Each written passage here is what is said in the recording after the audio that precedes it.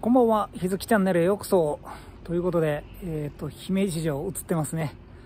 えー、お分かりかと思いますが、ベータのライブが終わった後です。今日はね、帽子かぶったんで、えー、帽子かぶってます。えーと、見覚えあると思うんですけど、今日朝からつなぎでね、来てるんで、もう作業、作業をしに来た感じになってるんですけど。えー、今日もね、ライブ、えー、今日は弾き語りだったんで、えー、とても気合を入れて歌いました。えー、見てくれた皆さんはいかがだったでしょうかなかなかね、いいライブだったと思いますんで、えー、また、あのー、俺が自分で撮ったカメラのね、動画をまた上げたいと思います。まあ、ツイキャスをね、買ってくれてる人がいるんで、全編ではないですけども、ちょい出しをね、してね、えー、皆さんにもお届けしたいなと思います。はい。えーとね、今日はね、えーと、行ってみるとね、全員、えー、一回対バンしたことある人たちでした。若い子もね、二人出てて、なかなか、えー、しっかり歌うコーラだったんで、いや、やばいなぁとか思いながら、最近の若い子はうまいね、とは思うんですけど、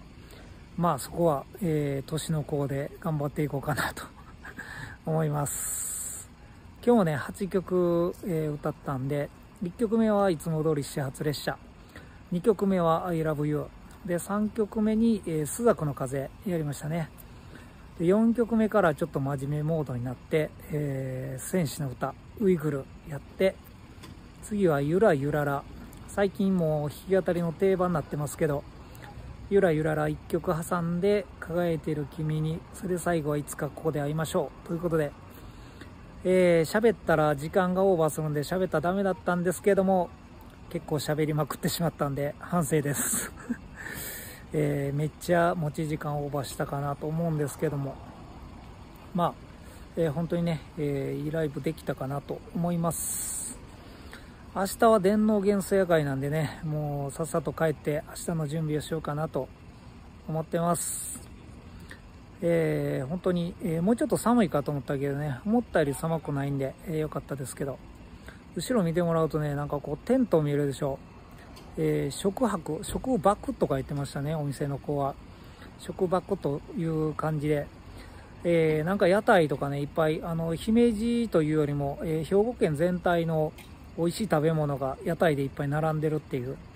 えー、そういうイベントだったみたいです。ぐるっと一周だけ回ったんですけどね、えー、着いてすぐに駅そば食べてしまったんで、もうちょっと食べずじまいで終わったんですけども、テントが残ってるということは多分明日もやるんじゃないでしょうか。ね、テントあるでしょう。テントがあるんで、えー、明日もやると思います。やっぱりね、こう街が活気づくのはいつ見てもいいもんですね。はい、ということで、えー、今日はベータでライブでした。それではまた、バイバイ。